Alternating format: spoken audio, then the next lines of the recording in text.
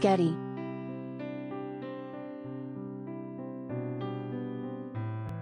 Kodak Black's failed drug test came back positive for pot and ecstasy, and yet Hess now asking a judge for permission to hit up a big concert where drug use might be rampant.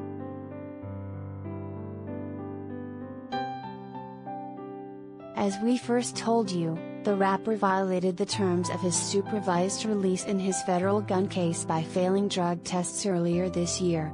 According to new legal docs, he tested positive for marijuana in February and then MDMA in August.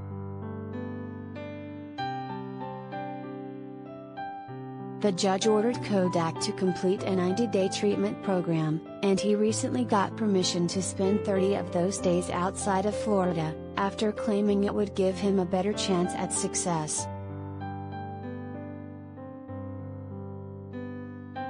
Now, Kodak has his eye on a multi-day music festival in New York.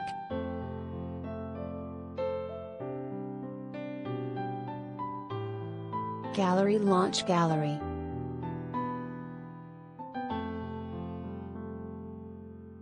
Kodak Performance Photos Launch Gallery Gallery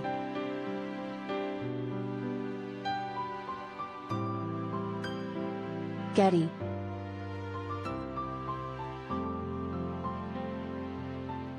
According to the docs, KB asked the court to let him attend the Rolling Loud NYC Music Fest this weekend, and says it's strictly for business.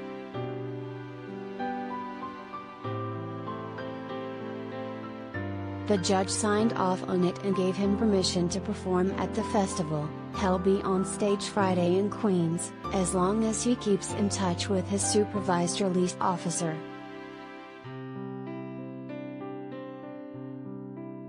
We reached out to Kodak's lawyer, so far, no word back.